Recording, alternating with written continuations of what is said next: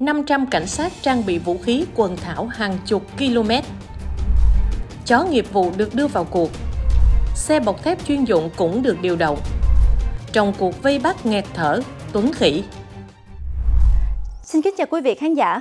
Bảo Trần rất hân hạnh được đồng hành và gửi tới quý vị những thông tin cập nhật trên kênh YouTube Báo Pháp Luật Thành phố Hồ Chí Minh. Nội dung chi tiết sẽ được gửi tới quý vị và các bạn ngay sau đây. Sau khi dùng súng AK bắn gấp sát hại 4 người tại sới bạc trong vườn nhãn thuộc ấp 5 xã Tân Thạnh Đông, huyện Củ Chi, thành phố Hồ Chí Minh vào trưa mùng 4 Tết, tức ngày 29 tháng 1 năm 2020. Tuấn Khỉ bỏ trốn và sát hại tiếp một người dân đi đường để cướp xe máy. Công an nghi ngờ đối tượng này ẩn náu trong khu vực có nhiều kênh rạch, cây cối mọc um tùm tại ấp bốn Phú, xã Trung An, huyện Củ Chi, cách hiện trường xả súng hơn 10 km. Liên tục sau đó, một lực lượng gồm hơn 500 cảnh sát thuộc Bộ Công an và Công an thành phố Hồ Chí Minh phối hợp với bộ đội biên phòng cùng các lực lượng địa phương khác bao vây nhiều lớp truy tìm. Ngoài chó nghiệp vụ, lực lượng chức năng còn huy động nhiều phương tiện, khí tài hiện đại như flycam tầm nhiệt, xe bọc thép để truy tìm Tuấn Khỉ. Chiều 31 tháng 1 năm 2020, nhiều lực lượng vây ráp ở khu vực qua đường Huỳnh Thị Bằng và lân cận thuộc xã Trung An, huyện Củ Chi rút khỏi hiện trường. Theo một nguồn tin, một nhận định được đưa ra là Tuấn không còn ở khu vực trên mà đã di chuyển sang địa bàn tỉnh Long An hướng về biên giới. Đến ngày 1 tháng 2 năm 2020, Thiếu tướng Nguyễn Hoài Phương, Phó Tư lệnh Bộ đội Biên phòng cho biết, Bộ đội Biên phòng đang tích cực phối hợp để truy xét kẻ này. Lực lượng biên phòng đã phối hợp với ba tỉnh bên phía Campuchia là Tebong Khmer, Preven và Svay Rieng đối diện với Long An, Tây Ninh và Bình Phước để truy tìm Tuấn Khỉ. Công an phía bạn cũng tăng cường lực lượng lên biên giới, phối hợp theo quy chế giữa Bộ đội Biên phòng và Bộ Tư lệnh Hiến binh, Tổng cục Công an Quốc gia Campuchia. Tuy nhiên cũng chưa phát hiện được tung tích của Tuấn Khỉ.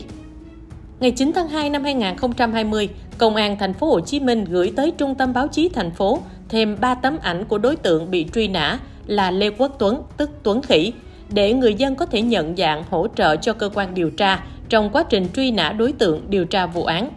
Theo Công an thành phố Hồ Chí Minh, Tuấn là đối tượng gây ra vụ án giết người cướp tài sản, tàn trữ, sử dụng trái phép vũ khí quân dụng, đặc biệt nghiêm trọng xảy ra tại huyện Củ Chi, thành phố Hồ Chí Minh vào các ngày 29 và 30 tháng 1 năm 2020. Đặc điểm đối tượng Lê Quốc Tuấn, cao 1m66, nặng khoảng 69 kg, da hơi ngăm đen, tóc đen hớt cao, sẹo chấm cách 0,2 cm trên trước đầu mày trái, sống mũi cao, nói giọng miền Nam. Vũ khí đối tượng sử dụng gây án là súng AK dạng bán xếp.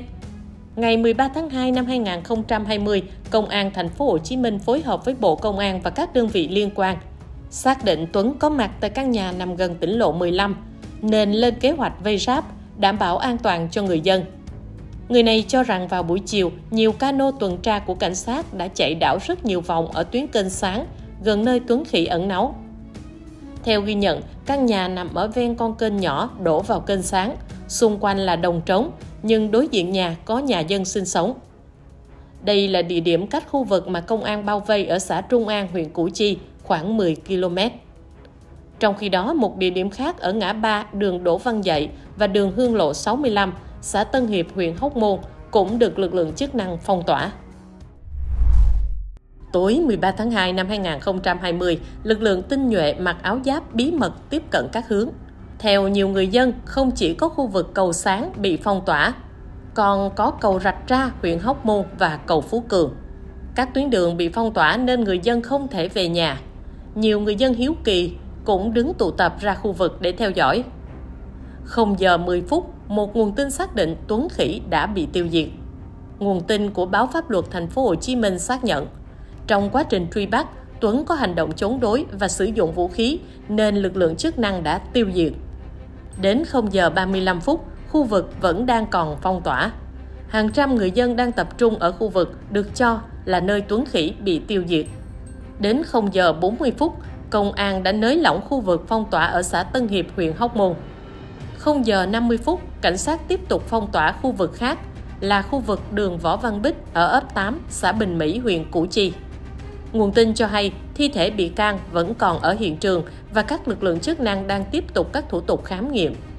Rất đông lực lượng công an vẫn đang phong tỏa khu vực ngã ba Bình Mỹ để phục vụ công tác khám nghiệm hiện trường. Theo ghi nhận, khu vực này được phong tỏa nghiêm ngặt, toàn bộ người dân và phóng viên báo đài đều không vào được.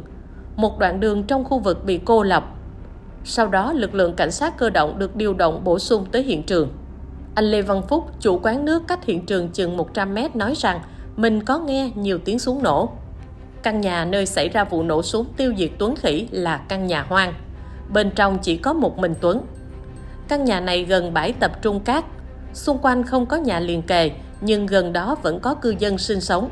Một người khác cho biết, Tuấn Khỉ được cho là có nổ một phát súng chống trả và bị tiêu diệt ngay tại chỗ. Chừng 22 giờ đêm, tôi có nghe nhiều tiếng súng. Sau đó thì cảnh sát rất đông tập trung phong tỏa hiện trường. Người này nói.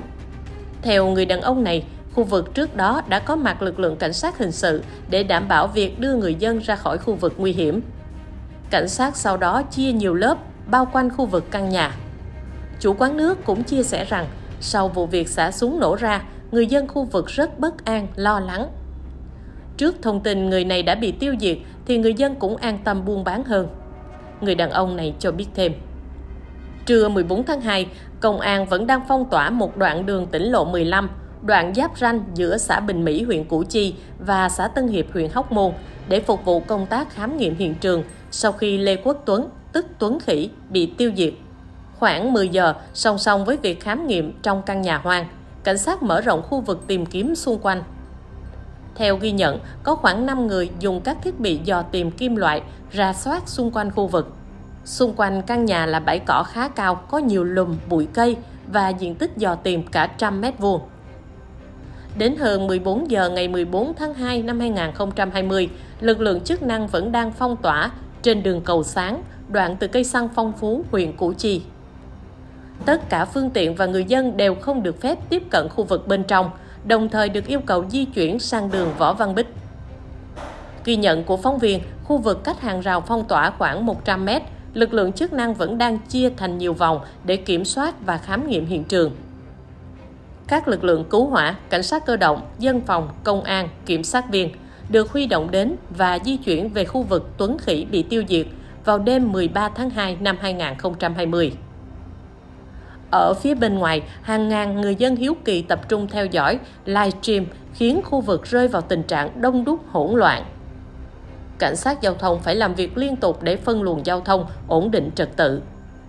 Ngày 16 tháng 2 năm 2020, sau khi cơ quan cảnh sát điều tra công an thành phố Hồ Chí Minh tổ chức khám nghiệm tử thi, thi thể của Lê Quốc Tuấn, tức Tuấn Khỉ, sinh năm 1987, ngụ xã Tân Thạnh Đông, huyện Củ Chi, thành phố Hồ Chí Minh, đã được đưa đi hỏa táng tại Trung tâm Hỏa táng và Công viên Nghĩa Trang Đa Phước, huyện Bình Chánh, thành phố Hồ Chí Minh. Thông tin từ cơ quan chức năng huyện Củ Chi cho biết, trò cốt của Tuấn đã được bàn giao cho gia đình lo hậu sự. Trước đó, như báo pháp luật thành phố Hồ Chí Minh đã thông tin, chiều 29 tháng 1, tức mùng 4 Tết, Lê Quốc Tuấn, tức Tuấn Khỉ, đã dùng súng AK sát hại 4 người, làm 3 người khác bị thương tại sới bạc ở Củ Chi, cướp 802 triệu đồng hai xe máy. Sau đó Tuấn giết thêm một người khác để cướp xe máy trên đường tẩu thoát. Đêm 13 tháng 2, cảnh sát đã vây ráp tiêu diệt đối tượng Tuấn tại căn nhà hoang ở ven tỉnh lộ 15, đoạn giáp ranh giữa xã Bình Mỹ, huyện Củ Chi và Tân Hiệp, huyện Hóc Môn khi người này chống đối, nã súng vào công an. Những thông tin vừa rồi cũng đã khép lại chương trình của chúng tôi. Bảo Trân rất mong nhận được sự quan tâm và đồng hành của quý vị khán giả dành cho các chương trình trên kênh YouTube Báo Pháp Luật Thành phố Hồ Chí Minh. Đừng quên nhấn chuông theo dõi chúng tôi để không bỏ lỡ bất kỳ thông tin cập nhật nào. Xin chào và hẹn gặp lại!